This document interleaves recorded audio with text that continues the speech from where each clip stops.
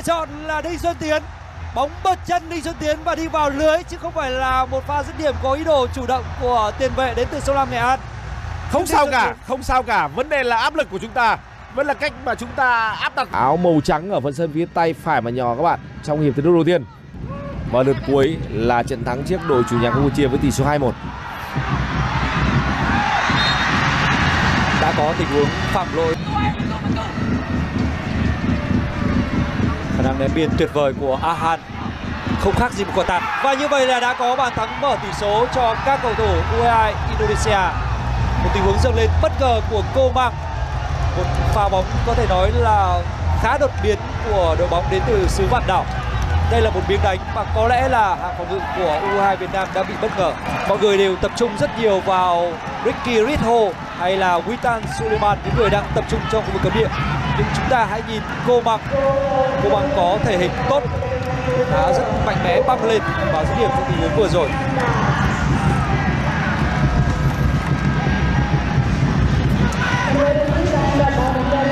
Rất đáng tiếc là trong tiếng vừa rồi thì các trung vệ của đội tuyển U20 Việt Nam đã không làm chủ được ờ, không gian phía trước khung thành của uh, thủ môn.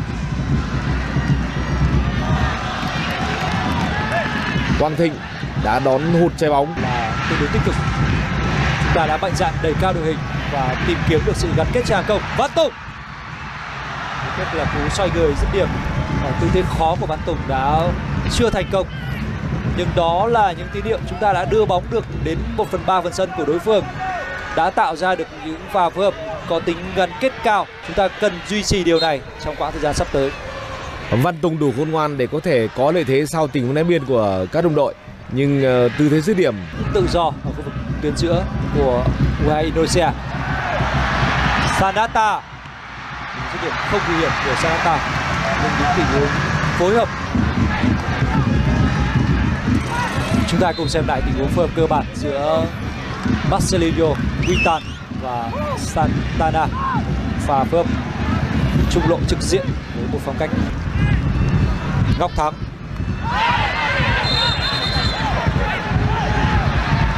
Chế bóng bước một không tốt của Levando và sau đó pha cao chân của số 7 bên phía U2 Việt Nam đã phải nhận thẻ vàng.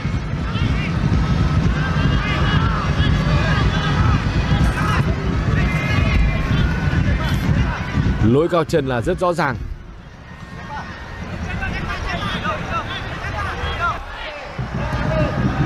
Rất nguy hiểm Baga Văn Chuẩn đã cứu thua. Một tình huống phòng ngự xuất sắc của Quang Văn Chuẩn có rất nhiều lỗ hổng trong phòng ngự của U22 Việt Nam Vâng, đúng là trong tiếng vừa rồi thì đã có một khoảng trống tương đối lớn. U22 Việt Nam đang tập trung tấn công bên phía cánh trái và phần sân ngược lại U22 Indonesia cũng thường xuyên tập trung bên phía tấn công bên phía cánh phải với sự cơ động của pha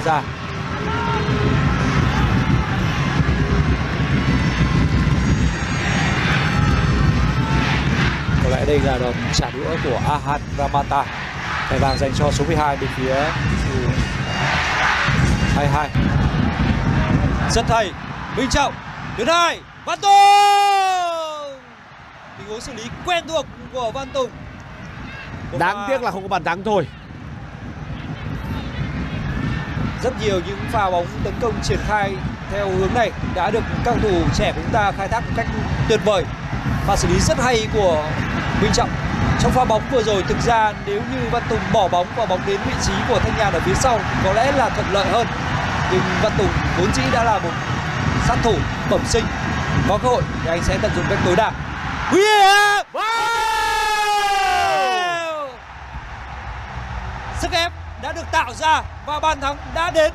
Và vẫn là Văn Tùng. vẫn là Văn Tùng. Bàn thắng thứ ba của Văn Tùng bằng đầu và bàn thắng thứ năm của cá nhân anh tại giải đấu năm nay tuyệt vời không quá lâu sau tình huống dứt điểm đầu tiên của Văn Tùng trong trận đấu này một pha xoay compa để dứt điểm đi trên khung thành là cú đánh đầu ngược và ghi bàn thắng cân bằng cách biệt cho đội tuyển U22 Việt Nam. Tôi nghĩ rằng vẫn là cái đầu của Văn Tùng. Quả treo bóng là của Đức Phú. Vâng, đúng là Văn Tùng. Thực sự là hết nhạy cảm. Bàn thắng quá đẹp của Văn Tùng và nó cho thấy được bản năng sát thủ của tiền đạo áo số 9 bên phía U2 Việt Nam. Đó là một pha bóng rất khó anh Tùng ạ. Vâng. Bởi vì ở phía trước Văn Tùng bị che. Tuyến hai Không được Cú sửa bóng của Thái Sơn Cắt bóng rất quyết liệt Và băng lên của cô Mang Đã có lỗi của các cầu thủ Indonesia, Nhưng ờ, ngay lập tức sau đó là một loạt những tình huống có dấu hiệu của sự thiếu kiểm soát cả các cầu thủ Indonesia cũng như những ờ, cầu thủ của đội tuyển U20 Việt Nam đều là những con người còn rất trẻ. Họ rất dễ bị ờ, rơi vào tình trạng thiếu kiểm soát. Nằm sân vào lúc này đang là một cầu thủ của đội tuyển U22 Việt Nam.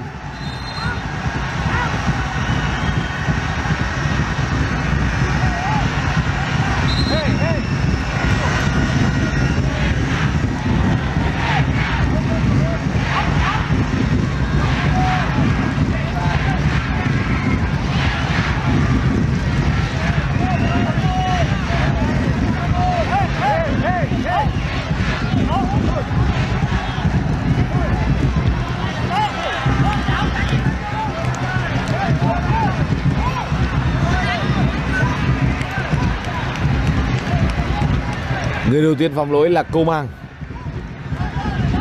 Sau đó thì ờ, Võ Minh Trọng ờ, đã bày tỏ sự bức xúc của mình và kéo theo một loạt những tình huống có thể nói là rất thiếu kiểm soát của cao thủ Indonesia.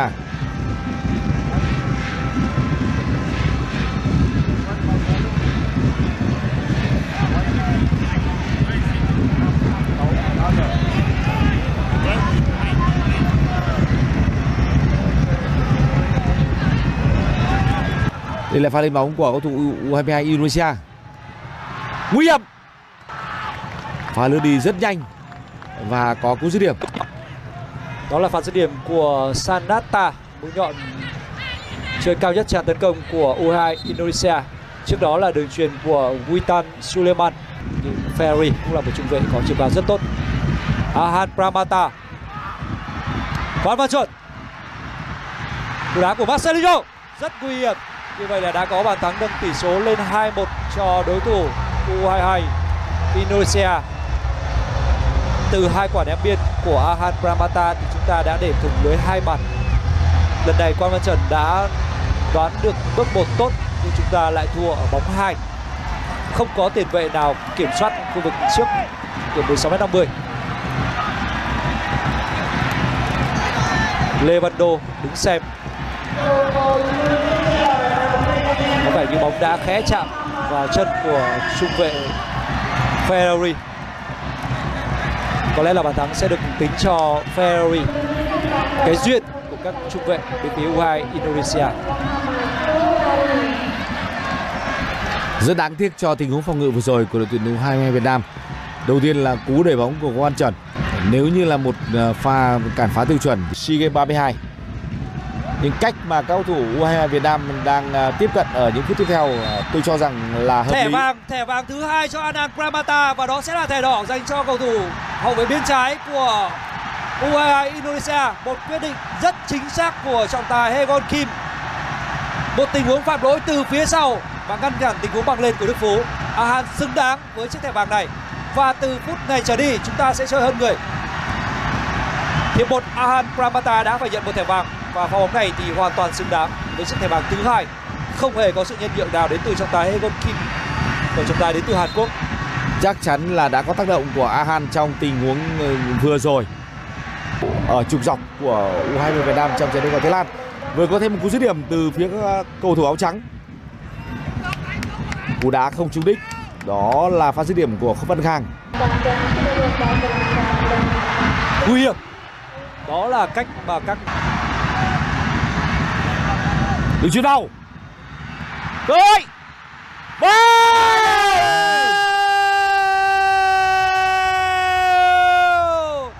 người được lựa chọn là Đinh Xuân Tiến bóng bật chân Đinh Xuân Tiến và đi vào lưới chứ không phải là một pha dứt điểm có ý đồ chủ động của tiền vệ đến từ sông Lam Nghệ An Không Đinh sao cả, không sao cả. Vấn đề là áp lực của chúng ta.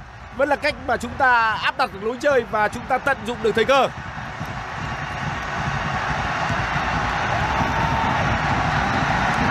Một đá phả một pha đá phản chứ không phải là pha ghi bàn của Đinh Xuân Tiến những áp lực mà U22 Việt Nam tạo ra là đủ lớn để khiến cho đối phương phải mắc lỗi đó là điều quan trọng Ngọc Thắng đã dâng cao để uh, hỗ trợ tấn công Và có vẻ như những quả tạt của U22 Việt Nam cũng có ý đồ vì nó luôn luôn là những quả tạt ở tầm thấp và bóng đi cực kỳ khó chịu. Chính xác là như vậy. Rõ ràng không phải là những pha bóng bổng để có thể khiến cho các trung vệ có tầm vóc của U22 Indonesia có thể phát huy được khả năng kiểm soát đường truyền được trung lộ. Văn Trường. Rồi, Văn Khang. Nhịp chơi tôi nghĩ rằng như thế là hợp lý anh Phương Nam ạ. Không cần phải vội. Rất hay, rất Vâng. rất hay, rất nhịp nhàng. Mọi thứ đều hoàn hảo. Chỉ tình huống dứt điểm cuối cùng của Văn Khang pha đỡ bóng bước một và quyết định quất chân phải cũng là một quyết định nhanh. Những cầu thủ đang chơi tại ờ, SEA Games 32 không phải là những người được đánh giá quá cao về những phẩm chất cá nhân. Rất nguy hiểm. Đó vẫn là Văn Tùng với những tình huống dứt điểm một chạm và một lần nữa Văn Tùng cho thấy được kỹ năng chơi đầu của mình hay như thế nào trong tình huống bay người đánh đầu lái bóng về phía góc xa vừa rồi. Một đường truyền hơi nhẹ của Thái Sơn nhưng Văn Tùng đã biết cách lướt lên trước mặt Ferry và thực hiện công tác đánh đầu lái bóng rất kỹ thuật. Lần này thì tài năng của thủ thành Enado đã cứu thua cho các cầu thủ U2 Indonesia. Dewamda rất may. Thẻ vàng. Lẽ ra phải có thẻ vàng cho Ricky Riho với tình huống chơi bóng thiếu fair play như vừa rồi.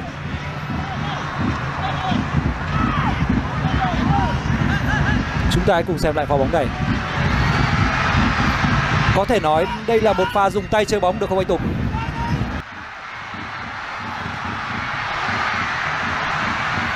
Ivan! Rất tiếc là chúng ta đã để thua ở phút bù giờ thứ 6 Một tình huống phản công kinh điển của U22 Indonesia. Pha xử lý xuất sắc của Tofani.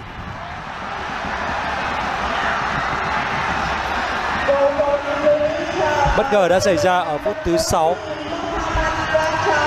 Thật sự là rất đáng tiếc cho đội tuyển U22 Việt Nam. Thời gian còn lại của hiệp thi đấu này vẫn còn, nhưng có lẽ là cực khó để có thể thay đổi được tình hình.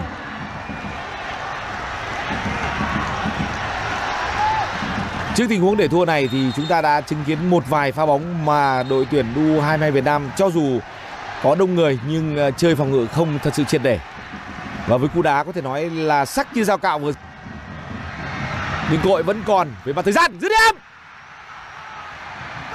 Tình huống dứt điểm là của Đinh Xuân Tiến Một pha dứt điểm chất lượng Nhưng một lần nữa bóng vẫn rất gần với vị trí của Hernando.